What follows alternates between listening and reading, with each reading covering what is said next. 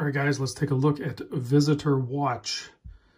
Now, throughout their lineup, you're going to see that they're familiar. You're going to recognize that it's a Visitor, and that's, I think, key to their success. So this one here is uh, the Calligraph Linden. So, and of course you recognize the handset here. This is like a pen nib. I think they call it a pen nib um, handset. And then there's other design characteristics that also carry from line to line. But in the Linden series here, I think it is very tastefully done and clean. It's not too bold. Some of their designs are kind of daring, kind of bold, still really cool and fun to wear and definitely conversation pieces, uh, all while maintaining a very good quality and usability. This one kind of simmers it down a little bit and makes it so it's more of a normal watch, but still holds those uh, the DNA of the Visitor lineup, if that makes sense. So, case size, you're looking at a 39 millimeter case, 48 lug to lug. You can see the finishing on this too. I'll, I'll do some close-ups, but drilled lug holes. It's only 10.3 millimeter thick to the top of that sapphire AR coated crystal up top. Actually has a sapphire display back as well. And a 20 millimeter lug width. You can see on this is the factory strap. You have a few different choices for straps when you, and there's different colorways too. Um, the white is obviously just perfect.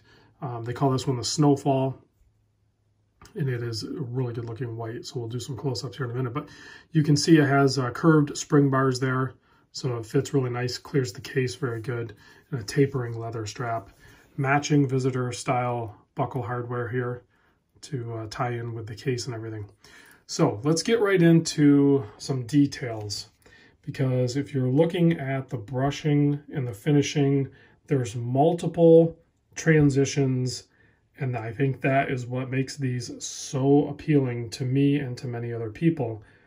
So you can see that the bezel, the way it's installed onto the case, is actually submerged into the side profile of the watch which is just insane. That is super cool. I love seeing that.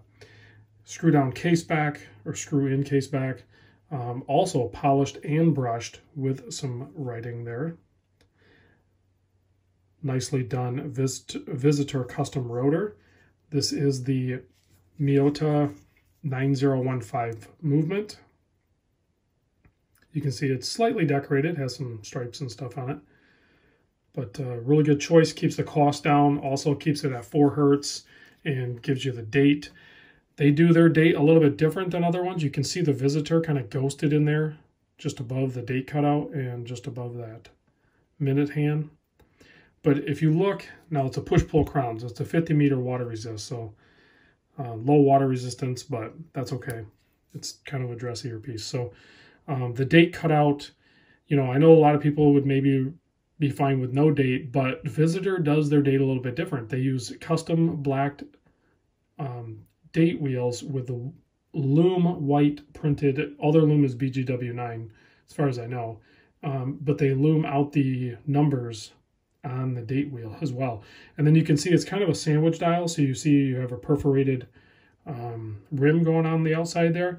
That is a disc underneath there that is fully lumed. So when we do the lume shot, you're going to see all the indices, the tips of the hands, the date wheel, the visitor logo that's printed on the dial, and that sandwich cutout. All of that is going to be lumed.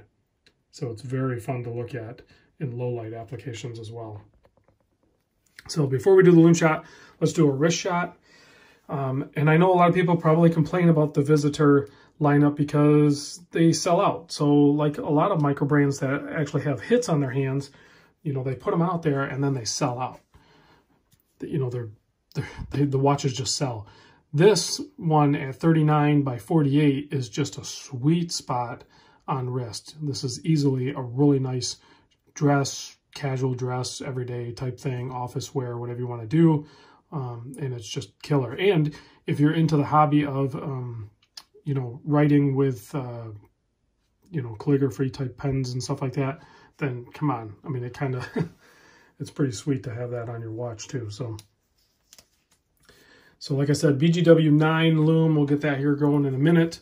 Um, the price point on this is 580 and he actually has these in stock. So if you're looking for the Linden, if you want to get into a very good, clean, totally wearable visitor watch, go pick out different colors. There's this white one, there's a black one, there's a few other colors, maybe green, blue, and red, maybe? I can't remember. I'll put a link in the description. So let's check out that lume shot real quick. Hopefully it shows up pretty good. I, I suspect it will.